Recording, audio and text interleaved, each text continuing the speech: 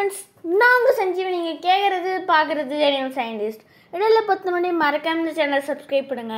Okay இன்னைக்கு நம்ம எதை பற்றி பார்க்க போகிறோம் அப்படின்னு பார்த்தீங்கன்னா இன்னைக்கு மெட்ராஸ் டேன்றதால் மெட்ராஸோட சிறப்பம்சங்களை பற்றி பார்க்க போகிறோம் வாங்க வீடியோக்குள்ள பிளான் ஃப்ரெண்ட்ஸ் வீடியோவில் பத்து மணி இன்னைக்கு வந்து மெட்ராஸ் டே அதுவும் சண்டே ஸோ வந்து நம்ம மெட்ராஸ் சிறப்பம்சங்கள்லாம் பார்க்கணும். சிறப்பம்சங்கள் அப்படின்னு சொல்லும்போது வந்து ஏகப்பட்ட விஷயங்கள் வந்து நம்ம மெட்ராஸ் தான் அந்த நம்பர் ஒன்ல இருக்குது ஓகேவா ஸோ அந்த மாதிரி என்னென்ன விஷயங்கள் எல்லாம் நம்பர் ஒன்ல இருக்குன்றதெல்லாம் தான் இன்றைக்கி பார்க்க போகிறோம் ஓகே வாங்க வீடியோக்குள்ள பிளான் அதாவது இன் இன் இப்போ இருக்க நம்ம இந்தியாவிலே நம்பர் ஒன்றது சென்னை தான் அப்படின்னு நம்மளை கெத்தாக சொல்ல வைக்கிற இருபத்தி ஏழு விஷயத்தை பற்றி தான் பார்க்க போகிறோம் ஸோ வாங்க வீடியோக்குள்ளே பிளான் இன்னைக்கு நம்ம சென்னையோட பர்த்டே அதோட வயசு முந்நூற்றி எண்பத்தி ரெண்டு வயசு அது இதுக்கு. முதல் விஷயம் புனித ஜார்ஜ் கோட்டை. இதுதான் இப்போதைக்கு இந்தியாவிலேயே இருக்கிற ஃபஸ்ட்டு பிரிட்டிஷால் கட்டப்பட்ட கோட்டை. இதுதான் இப்போதைக்கு நம்ம தமிழ்நாட்டோட தலைமைச் செயலகமாக இருக்குது ரெண்டாவது மெட்ராஸ் ஹைகோர்ட். இந்தியாவிலேயே இதுதான் மிகப்பெரிய நீதிமன்ற வளாகம் உலகத்திலே இதுதான் இரண்டாவது மிகப்பெரிய நீதி நீதிமன்ற வளாகம் மூணாவது மெட்ராஸ் பேங்க். இந்தியாவிலேயே இதுதான் ஃபஸ்ட்டு கவர்மெண்ட் பேங்க் அது இப்போ வந்து இது நம்ம பாரத் ஸ்டேட் பேங்க்னு சொல்கிறோம் நாலாவது எக்மோர் கவர்மெண்ட் ஐ ஹாஸ்பிட்டல் இந்தியாவிலேயே முதல் முறையாக தொடங்கப்பட்ட கண் மருத்துவமனை இதுதான். உலகத்தில் ரெண்டாவது பெரிய மிகப்பெரிய ஐ ஹாஸ்பிட்டலும் வந்து இதுதான். ஏஷியாவிலேயே ஃபஸ்ட்டு ஹாஸ்பி ஐ ஹாஸ்பிட்டலும் இதுதான். நாலாவதாக இந்த மா மெட்ராஸ் ஐ அப்படிங்கிற ஒரு நோயை கண்டுபிடிச்சதும் இந்த ஐ ஹாஸ்பிட்டல் தான். அஞ்சாவது அடையார் கேன்சர் ஹாஸ்பிட்டல். இந்தியாவிலேயே இதுதான் இரண்டாவது கேன்சர் ஹாஸ்பிட்டல். இது யார் கட்டினாங்க அப்படின்னா இந்தியாவின் ஃபஸ்ட்டு பெண் டாக்டரான டாக்டர் முத்துலக்ஷ்மி ரெட்டி. ஆறாவது கிண்டி இன்ஜினியரிங் காலேஜ். இதுதான் இந்தியாவோட பழமையான இன்ஜினியரிங் காலேஜ். இது இதில் தான் எலக்ட்ரிக்கல் அப்புறம் மெக்கானிக்கல் கோர்ஸ் எல்லாம் இன்ட்ரடியூஸ் பண்ணாங்க.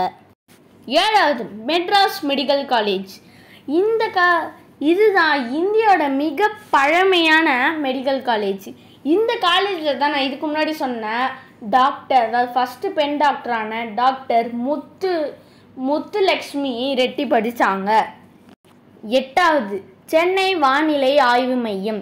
இந்தியாவிலே ஃபஸ்ட்டு ஃபஸ்ட்டு அமைக்கப்பட்ட வானிலை ஆய்வு மையம் இதுதான். அதுதான் இது வந்து நுங்கம்பாக்கத்தில் இருக்குது ஒன்பதாவது உங்கள் எல்லாருக்குமே பிடிச்ச மெரினா பீச். இந்த மெரினா பீச் தான் இந்தியாவின் மிக நீளமான பீச். உலகத்திலே இதுதான் இரண்டாவது மிக நீளமான பீச் பத்தாவது ஹிக்கின் பாதம்ஸ் இதுதான் இந்தியாவின் மிக பழமையான லைப்ரரி இதுக்கே ஹிக்கின் பாதம்ஸ்னு பேர் வந்துச்சுன்னா ஏன்னா இதை கட்டின பிரிட்டிஷோட பேரும் ஹிக்கின் பாதம்ஸ் தான். பதினொன்றாவது ஸ்பென்சர் பிளாசா இதுதான் இந்தியாவின் மிக பழமையான ஷாப்பிங் மால் ஏன் ஏஷியாவில் இதுதான் மிக பழமையான ஷாப்பிங் மால் இது சென்னை மவுண்ட் ரோட்டில் இருக்குது பன்னெண்டாவது கிண்டி நேஷ்னல் பார்க். இந்தியாவிலேயே நகர எல்லைக்குள்ளே இருக்கிற ஒரே நேஷ்னல் பார்க் இந்த கிண்டி நேஷ்னல் பார்க் தான். பதிமூணாவது சேப்பாக்கம் கிரிக்கெட் கிரவுண்ட். இதுதான் இந்தியாவின் மிக பழமையான கிரிக்கெட் கிரவுண்ட்.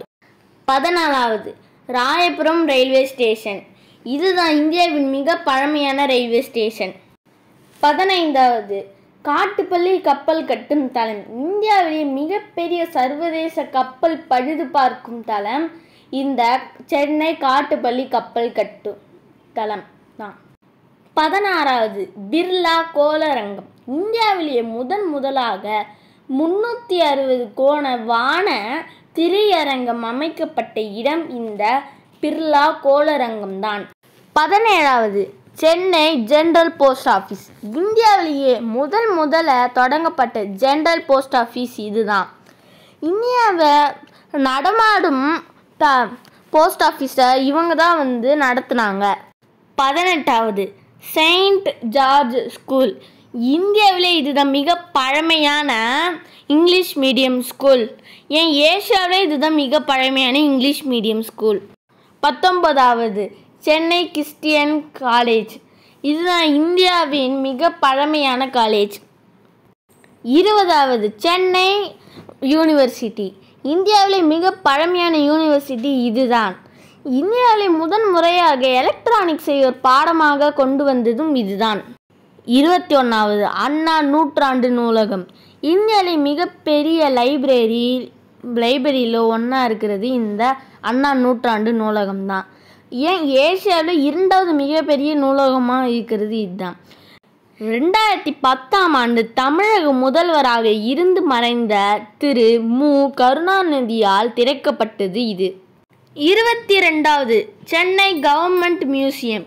இந்தியாவிலே மிக பழமையான மியூசியமில் இதுவும் ஒன்று இதில் மொத்தமாக வந்து நாற்பத்தி ஆறு காட்சி கூடங்கள் இருக்குது இருபத்தி மூணாவது கன்னிமாரா நூலகம். இந்தியாவிலேயே மிக பழமையான பொது லைப்ரரியில் இதுவும் ஒன்று இதில் மொத்தமாக ஆறு லட்சத்துக்கும் மேலே நிறைய புக்ஸ் இருக்குது இருபத்தி நாலாவது மெட்ராஸ் கால்நடை கல்லூரி.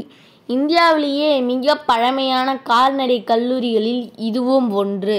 இந்தியாவிலேயே முதன் முதலில் பல்கலைக்கழக பட்டம் வழங்கிய கல்லூரியும் இதுதான். இருபத்தி ஐந்தாவது பிஎன்டபிள்யூ கார் உற்பத்தி தொழிற்சாலை.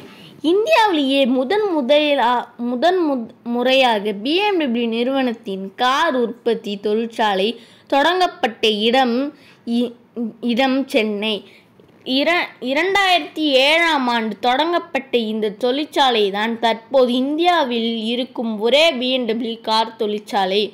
மேலும் இந்தியாவிலேயே ஆட்டோமொபைல்ஸ் துறையின் முன்னோடி நகரமாகும். சென்னை பார்க்கப்படுகிறது. ஆகவே தான் ஆசியாவின் டெட்ராய்டு என சென்னை மாநகரம் போற்றப்படுகிறது. இருபத்தி ஆறாவது மெட்ராஸ் பிரசிடென்சி ரேடியோ கிளப். இந்தியாவிலேயே முதன் முதலில் தொடங்கப்பட்ட ரேடியோ சேவைகளில் இதுவும் ஒன்று. இந்தியாவில் ஃபஸ்ட் ஆரம்பித்த எஃப்எம் ஸ்டேஷனும் இதுதான் இதில் தான் ஆரம்பித்தாங்க இருபத்தி ஏழாவது சென்னை மாநகராட்சி. இந்தியாவிலேயே முதன் முதலில் ஏற்படுத்தப்பட்ட மாநகராட்சி சென்னை மாநகராட்சி. லண்டனுக்கு அடுத்தபடியாக உலகின் இரண்டாவது மிக பழமையான கார்ப்பரேஷனாக புகழடைகிறது.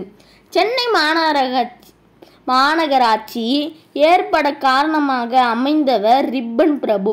எனவே அவரை கௌரவ கௌரவிக்கும் விதமாக கட்டப்பட்ட சென்னை மாநகராட்சி தலைமை கட்டிடத்திற்கு ரிப்பன் பில்டிங் என பெயர் சூட்டப்பட்டது. ஓகே ஃப்ரெண்ட்ஸ் இப்போ இந்த வீடியோ முடிஞ்சிருச்சு. மறக்காம சேனல் சப்ஸ்கிரைப் பண்ணுங்க. அப்போ இந்த விலையை கிளிக் பண்ணுங்கள் அப்போ இந்த வீடியோ லைக் பண்ணுங்க. உங்கள் ஃப்ரெண்ட்ஸ் இருந்தாலும் ஷேர் பண்ணுங்கள் கொஸ்டின்ஸ் இல்லை கொரிஸ் இருந்தால் கமெண்ட் பண்ணுங்க. பாய் டாட்டா சி யூ